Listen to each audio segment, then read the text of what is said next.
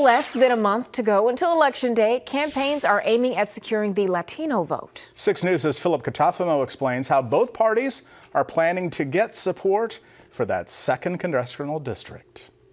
Democrat Representative Veronica Escobar of Texas was in South Omaha Saturday. The Texas Congresswoman is the Harris Walz campaign co-chair. She traveled to the Cornhusker state to motivate Latino voters ahead of the November election. They are deploying surrogates like myself to go into critical communities with powerful Latino populations to listen, to engage, to talk about issues, and to try to inspire them to get out to vote. She rallied for votes with fellow Latino politicians like congressional candidate Tony Vargas. In South Omaha, this particular demographic is represented well. A 2020 UNO study showed that Latinos make up 44% of residents in that area. Capturing that demographic is key for either party if they want to win District 2, which has been called a blue dot in a sea of red. Over the last two years, the voice of Latino voters have grown. According to a study done by the Pew Research Center, 36.2 million Latinos are eligible to vote in 2024. That's up 4 million since 2020 and more than double the 14.3 million who voted in 2000, making Latinos the nation's second largest group of eligible voters ahead of black and Asian Americans. Democrats aren't the only party looking to earn the Latino vote. Republican presidential nominee Donald Trump introduced the Latino Americans for Trump coalition this year. At the local level,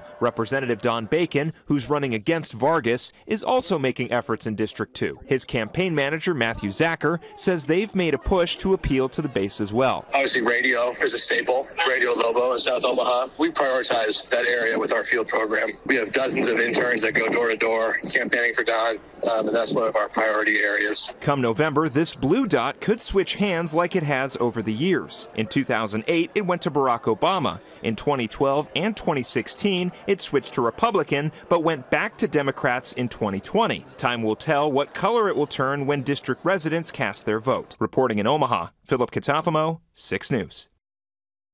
So, if you applied for one of those early voting ballots in Douglas County, they'll start being mailed out tomorrow.